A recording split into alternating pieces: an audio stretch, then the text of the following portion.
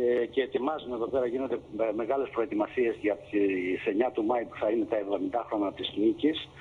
Ε, γι' αυτό είναι κλειστά κάποια σημεία ε, μέχρι, στη, μέχρι τις 7 του Μάη από ό,τι ξέρω από ε, δικές μου πληροφορίες για να είναι όλα τέλεια τότε. Ε, ο Αλέξης Τσίπρας αυτή τη στιγμή προχωράει για να καταθέσει το στεφάνι. Ε, είναι μια στιγμή πάρα πολύ ε, σημαντική νομίζω γιατί στεφάνια έχουν καταθέσει πάρα πολλοί ε, Έλληνες ε, πρόεδροι, πρωθυπουργοί κτλ. Αλλά ένας ε, πρωθυπουργός που έρχεται από το χώρο της αριστεράς ε, αριστερή, όπως ξέρεις, που ερχόταν παλιά εδώ πέρα βέβαια, αλλά με άλλες ιδιότητες, mm-hmm. στην εποχή του Κουκουσέ, στην εποχή των, ε, της Σοβιετικής ε, Ένωσης. Και σήμερα σε μια νέα Ελλάδα, σε μια νέα Ρωσία, είναι μια διαφορετική ξεχωριστή στιγμή θα έλεγα και πόσο μάλλον που γίνεται φέτος στα 70 χρόνια της νίκης όταν πραγματικά στην ρωσική τηλεόραση κάθε στιγμή και κάθε μέρα το τελευταίο τρίμηνο δίνονται στιγμές και ρεπορτάζ από την απελευθέρωση μιας καινούργιας πόλης με την κίνηση και την επέλαση του Σοβιετικού στρατού προς την Δυτική Ευρώπη, προς το, μέχρι το, την, το, την ολοκλήρωσή της στο Βερολίνο. Αυτές είναι κάποιες στιγμές σημαντικές βέβαια και για τις σχέσεις των δύο χωρών που εδώ το τονίζουν κατά κόρον τα ρωσικά μέσα ενημέρωσης και δύο ώρες μετά από εδώ έχουμε την συνάντηση μέσα στο Κρεμλίνο εντός των τυχών θα το έλεγα συνάντηση με τον Βλαντίμιρ Πούτιν που εκεί νομίζω τα θέματα και μέχρι αυτή τη στιγμή επιτρέψτε μου να πω ότι ξέρω είναι ανοιχτά. Είναι ανοιχτά γιατί ακριβώς, και αυτό το θεωρώ θετικό δηλαδή, γιατί ακριβώς στη συνάντηση των δύο ηγετών πραγματικά θα πιστεύω και ελπίζω θα ολοκληρωθεί ένα μεγάλο θέμα, αυτό το θέμα ας πούμε της ουσιαστικής και διευρυμένης συνεργασίας ανάμεσα στις δύο χώρες. Έχω την, έχω την εντύπωση, συγγνώμη τώρα, δεν είναι. αυτή τη στιγμή, ο Ε, ναι, να σε αφήσουμε, να σε αφήσουμε και εσένα, γιατί ε, είναι στην ένα λεπτό, πλατεία Δημήτρη, καταρχάς. αν Εκεί μας θα είναι, ακούει. δεν θα κλείσει, δεν θα κλείσει ο Δημήτρης. Κάνει λιγότερο κρύο στη Μόσχα από ό,τι κάνει εδώ σήμερα. Ε, Έχω, έτσι πως τους βλέπω ντυμένους, τους βλέπω πιο χαλαρούς. Ναι, Δημήτρη, εδώ κάνει κρύο πάντως πολύ. Εκεί πόσο έχει, τι, Ναι, τι αν- αν θερμοκρασία. άκουσα καλά και αν εννοείται για τον καιρό, Ναι. σήμερα είναι λιακάδα.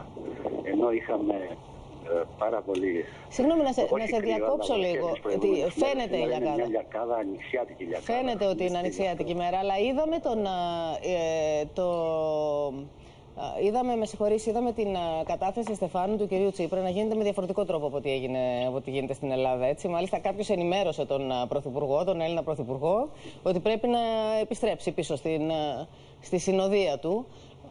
Και αυτή την ώρα, δείτε λίγο σας Εκείνο παρακαλώ που μπορώ πολύ, να πω είναι το ότι είναι BBC, άμαθος. Τέτοια αυτή, πράγματα είναι γεγονός. Μισό λεπτάκι, Δημήτρη, διότι αυτή τη στιγμή το BBC είναι σε σύνδεση απευθείας με, την, α, με το μνημείο της α, αιώνιας φλόγας και μεταδίδει την κατάθεση Στεφάνου, μεταδίδει την α, παρουσία του Έλληνα Πρωθυπουργού στη Μόσχα. Έτσι. Είναι αυτό που λέμε μεγαλεία. Να πω επίσης, Πόμπη, ότι αυτή τη στιγμή ο Αλέξης Τσίπρας, αν τον έχετε εικόνα ζωντανή, είναι, μιλάει με δύο αγωνίστρες θα έλεγα. Η μία είναι η κόρη της, α, της ηλέκτρας της Αποστόλου, της ηρωίδας. Μμμ. Ε, είναι δίπλα του, γνωρίζονται, συστήθηκαν και το, η, η, η κόρη της ε, ηλέκτρας Αποστόλου είναι μεγάλη κυρία βέβαια τώρα, είναι εδώ, ζει στη Μόσχα ε, μόνιμα, συνεχώς, ανεβοκατεβαίνει. Ε, είναι μια κυρία που τη γνωρίζω αρκετά καλά γιατί πραγματικά ε, και στα παιδιά της και η ίδια ε, εμφύσισε. Ε, αυτό το, το οποίο θα ήθελε η, η μάνα της, ε, αυτή την ελληνικότητα. Είναι κάτι πολύ σημαντικό ε, και είναι σημαντικό το ότι είναι απόσα εδώ σήμερα, ας πούμε, γιατί πραγματικά και η ίδια Μάλιστα. κουβαλάει πάνω της ένα μεγάλο ιστορικό φορτίο.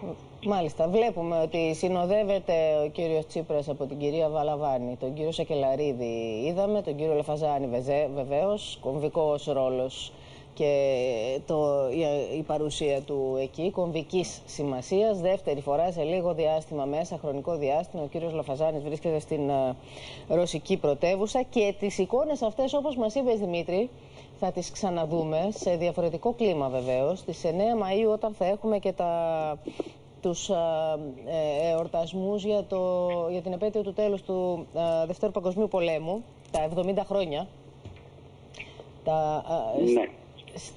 Και έχει σημασία να πούμε ότι ήταν πολλοί Ευρωπαίοι ηγέτες οι οποίοι ακυρώσανε την παρουσία τους στη Μόσχα για τους εορτασμούς αυτούς, αντιδρώντας την προσάρτηση Κρυμαίας κλπ. κλπ. στα θέματα αυτά. Ο Έλληνας Πρωθυπουργός θα βρεθεί εκεί λοιπόν. Ναι, είναι πολύ σημαντικό. Ε, άλλωστε θα έλεγα και ε, νομίζω ότι είναι μικρότητα αυτό που γίνεται από πολλές χώρες της Ευρώπης, διότι ε, θα μου επιτρέψετε να πω ότι και στα 50 χρόνια και στα 60 χρόνια και στα 65 χρόνια ε, εδώ πέρα είχαμε συμμετοχή δεκάδων ηγετών ε, Ευρωπαίων, ευρωπαϊκών χωρών και βέβαια πριν απ' όλα και πάνω απ' όλα του Έλληνα Προέδρου κάθε φορά του, του, του Προέδρου της Ελληνικής Δημοκρατίας είτε ήταν ο κύριος Στεφανόπουλος στα 50 χρόνια, είτε ήταν Μάλιστα. ο κύριος Παπούλιας στα 60 χρόνια και Τώρα, στα 65 χρόνια. Η κρίσιμη ερώτηση. η ελληνική παρουσία ε, εδώ και η ελληνική αντιστασιακή ψυχή θα έλεγα α, υπήρχε πάντα. Είναι πολύ σημαντικό αυτό και ειδικά στα 70 χρόνια γιατί πραγματικά παίζονται πολλά πράγματα στην Ευρώπη σήμερα και είναι πολλοί εκείνοι οι οποίοι